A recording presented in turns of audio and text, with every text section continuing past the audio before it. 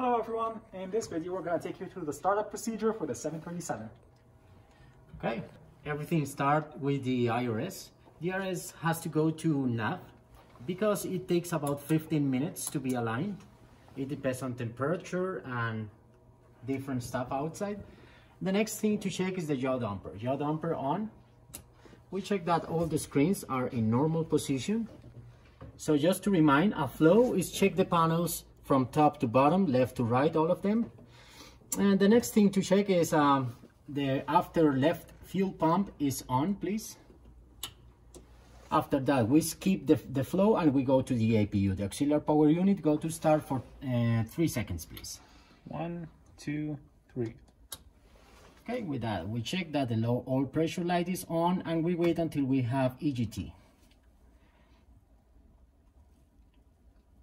So the EGT is moving. There you go. Now we can continue with the flow. And the galley power on, please. Galley on. Galley power is on. We are connected to the ground power and we continue over here. Equipment cooling is on normal. The emergency lights arm in the middle, please. Perfect. No smoking sign and seatbelt signs on. Thank you so much. Now we continue over here. Window heat on, left and right. Perfect. Probe, uh, you check that is off and we have the yellow lights. Electric hydraulic pumps on, please.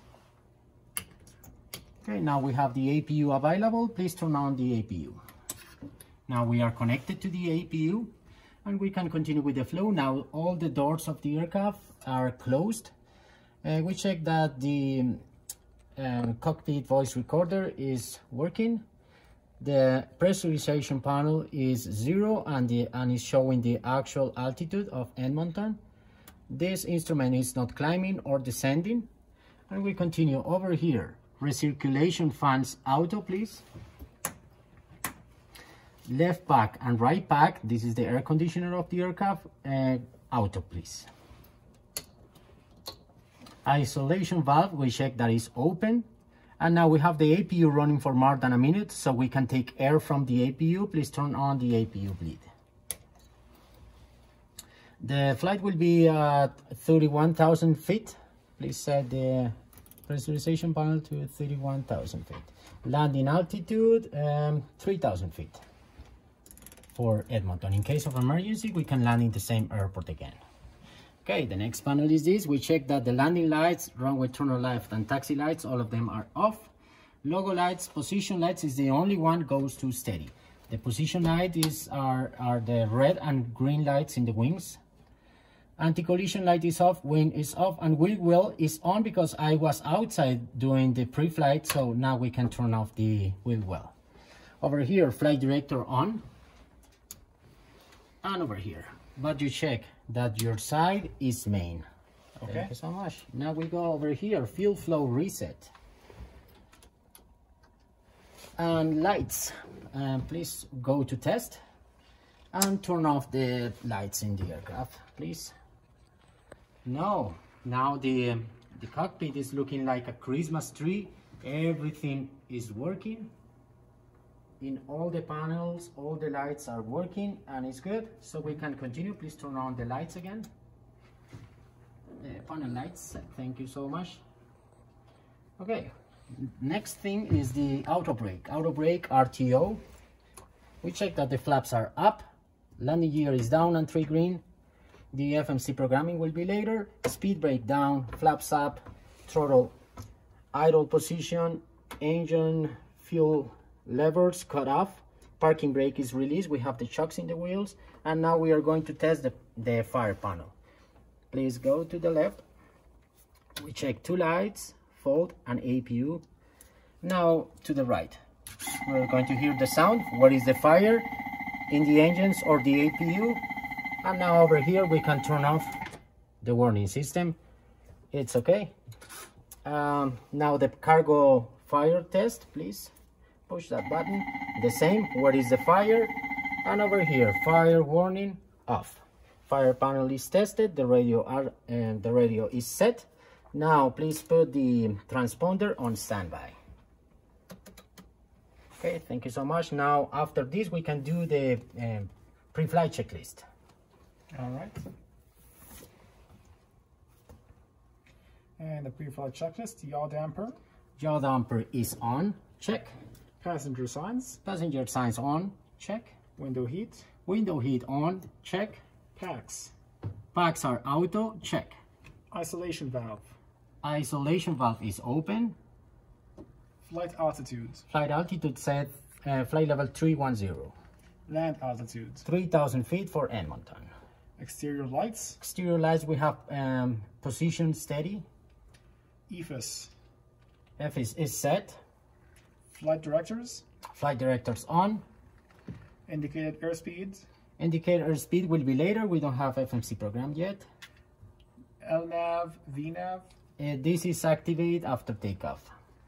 heading, Headings, we have 00, zero and course are 0. altitude, Altitude 10,300. auto brake, Auto brake on RTO. fuel flow, Fuel flow reset and 0. fire panel, Fire panel over here is tested. and radio panel. Radio panel set. With this, we finish the pre-flight. Now we go to the before start procedure. Over here, the um, procedure is very easy. Just turn off all the yellow lights except these two over here and these two over here. Because the engines are off, obviously we have these lights. So please turn on all the fuel pumps. Now the fuel pumps lights are off. We continue the flow in case we miss something. Um, probe on. Anti-air, we check that is off. Electric hydraulic pumps on. Left pack and right pack off. Isolation valve open. APU bleed is open. And now the lights over here, anti-collision light on. So this is to show people in ground that we are going to start the engines. After this, please, can you do the before start checklist? All right. Before start checklist, parking brake, Parking brake is released. We don't need to set the parking brake for now. right. ground power lights, Ground power light is on. fuel quantity, Fuel quantity, we have 20,600 kilograms. fuel pumps, Fuel pumps, all of them are on. And fasten seatbelts, seat belts, we don't need it and passengers are on. hydraulic pumps, Hydraulic pumps, electric and engine on. packs, Off. isolation valve, Open. APU bleeds, APU bleed is on. anti-collision lights, Anti-collision light on. transponder, Transponder on standby and the code is 3141. and flight deck door. Flight deck door is closed. All Okay, right. after this we can start the engines. We are going to start the engines number, the engine number two and then the engine number one because we have ground people in that side. So to start the engines, we go to ground and we have to check some stuff in the engines. That the oil pressure, oil pressure is going up. The next thing is N2 is rising. Over here, we have to check that we have 20%, 25 or 20% minimum. When we get 25, you can put fuel in the engine. Checking 24, now please put fuel in the engine. Okay. Now the next thing to check is the EGT because we have flame in the engine. Low oil pressure light is gone. The fan is moving now N2 uh, at 56%. This switch over here has to go off. 53, 55, 56. That means that the engine is good. Next thing to check is 20% over here and star valve.